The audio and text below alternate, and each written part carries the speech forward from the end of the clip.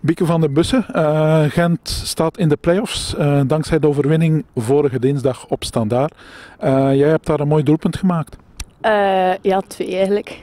Ja. De eerste, ja, dat was ehm, op een fase dat ik de bal recupereerde in het middenveld en eigenlijk redelijk van ver trap. Dus het was, allee, het was op het juiste moment na de goal, de eerste mm. goal die wij gemaakt hadden, dus dat was eigenlijk perfect voor ons. Ja. Jullie komen daar 0-3 voor en dan, wat gebeurt er dan?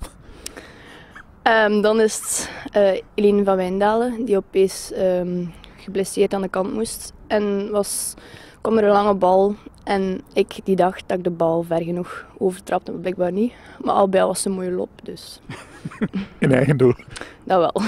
dat kan gebeuren. Uh, vandaag komen jullie tegen Anderlecht te staan. Uh, jullie gaan tegen hen ook spelen in de play-offs, dus het was in feite al een voorbereiding op die play-offs. Hoe is de match verlopen? Uh, in de eerste helft was echt niet goed. Um, voor het feit dat wij iets minder waren ook. Maar dan in de tweede helft hebben we ons herpakt en echt teruggevochten als een ploeg, wat dat in de eerste helft niet was. En allee, we hebben echt ons best gedaan in de tweede helft. Dus we mogen ons allee, vier zijn om de tweede helft niet te ja.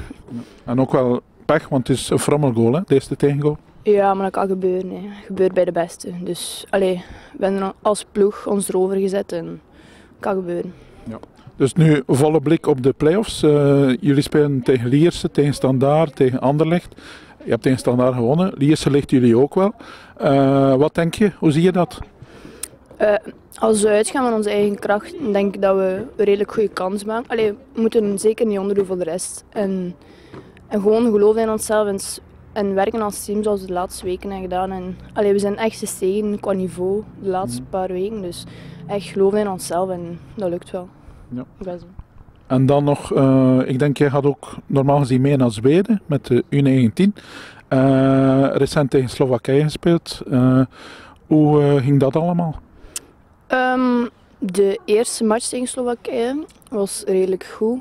Mhm. Vooral de eerste helft ook, waar we dat vond ik onze sterkste deel van de mhm. match die we hebben gespeeld. 1-0 gewonnen, hè, die wedstrijd. Ja. En als we die trend verder zetten, gewoon nog iets steviger qua een duel. En dan denk ik dat we wel een kans maken in Zweden. Dus. Mm -hmm. ja. En dan hopelijk, die eindronde is dan in Slowakije ook. Hè? Die ploeg is al geplaatst in feite. Ja, jammer genoeg. Ja. Vraag, ja, het is omdat zij gastland zijn, dus die zijn al door. Dus gewoon allee, zorgen dat we al onze matchen ons beste geven en we zien wel. Hè. Ja. Oké, en dan misschien zoals, want je bent ooit met de U17 in Zwitserland ook al geweest, dus... Uh, Allee, ja, dat was een allee, mooi leermoment ook vooral. Dus als we dat nu terug kunnen rechtzetten, en dat is terug allee, iets dat je je later zult herinneren. Dus we hopen dat we er graag. Ja. ja. Oké, ik dank je. Veel succes in elk geval. Dank u wel. Dank u.